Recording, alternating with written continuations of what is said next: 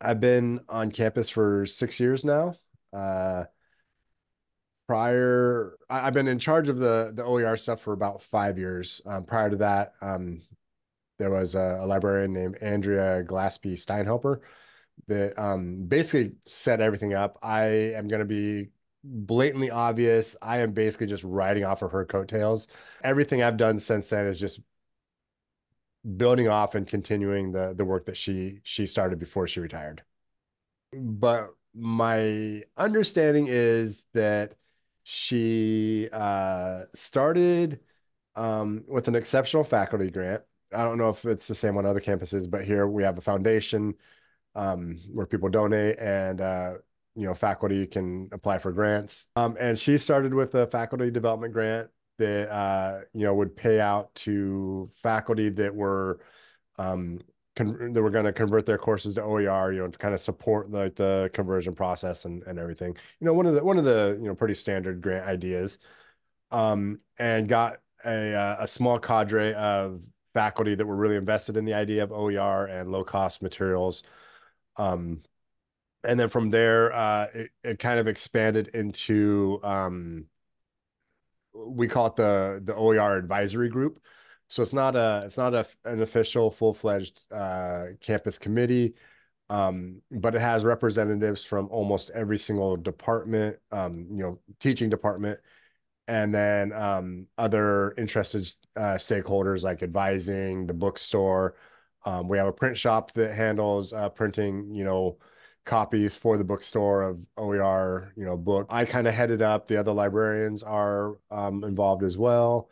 Um, my dean, uh, who's also over the the library uh, learning commons here, um, she is a member.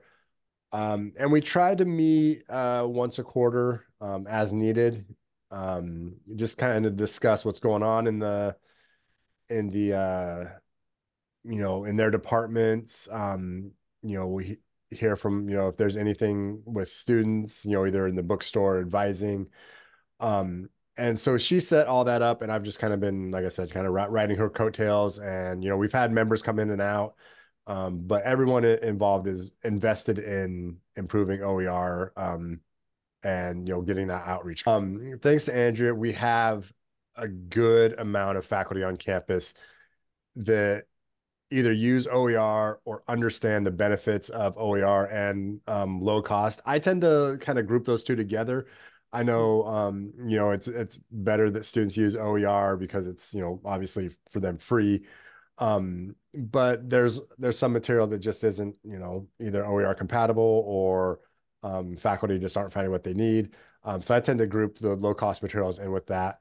Um, and thanks to what she started um, and the cadre that we've been able to build up, um, you know, we have multiple members across every um, faculty department that are invested and supportive of OER.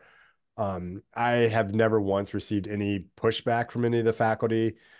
Um, you know, there might be disagreement about like the labeling uh, policy and that, you know, not being able to prorate, you know, things that are used across courses um, and across quarters. Um, yeah. But they understand the reasoning behind it. You know, none of them have really come out and said, "Oh, this is a stupid idea," or any, you know anything even remotely close to that.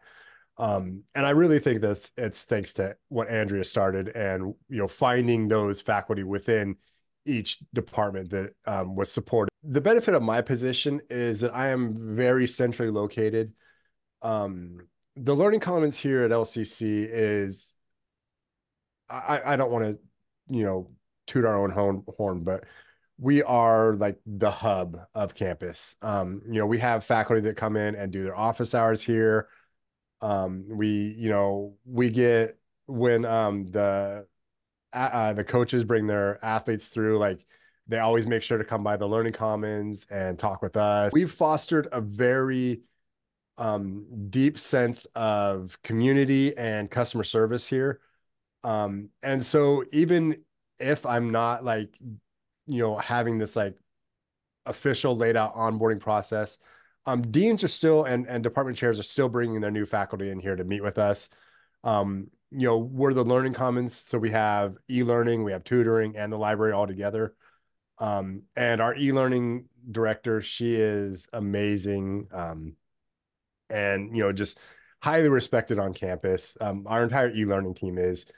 Um, and uh, and so, you know, we don't have that formal, like, okay, I'm gonna sit down with you for, you know, an hour to talk about, you know, how OER works on this campus. But when they come in, you know, their first couple weeks on campus, like I make it a point of talking with them about what what I offer as a librarian and you know the library offers and also OER and um you know a lot of times I'll point out hey you know you're in uh, the Langen Lit department. Well Abby Levins is you know really invested in OER or low cost. Um if you have any questions about you know what we can do there like she would be a great person to talk to. Or oh you're in natural sciences you know here's this uh here's this instructor I know that's really invested in it. Um so we kind of do it like a really informal but also um, so each uh, academic year when they release like the new like the you know schedule um you know to the to the deans and to the department chairs to start you know adding courses. Um I will go through and um mark the courses I know are OER low cost. Department chairs know like hey I've done the the um OER materials. Can you share with the faculty make sure that i haven't missed anybody or you know that i got something wrong?